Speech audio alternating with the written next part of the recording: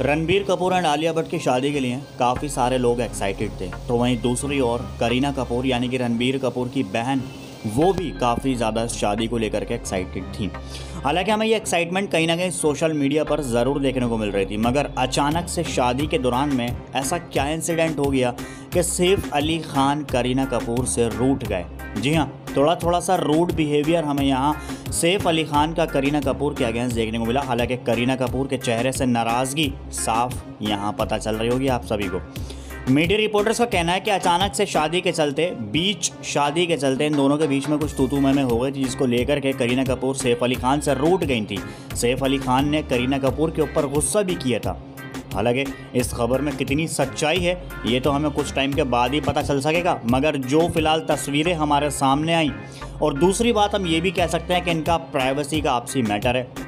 हालाँकि उसको वहीं छोड़ दिया जाए, मगर देखते ही देखते सैफ अली खान एंड करीना कपूर का ऐसा बिहेवियर सोशल मीडिया पर बहुत तेज़ वायरल हो रहा है, साथ में करीना सोशल मीडिया पर ट्रोल भी हो रही हैं।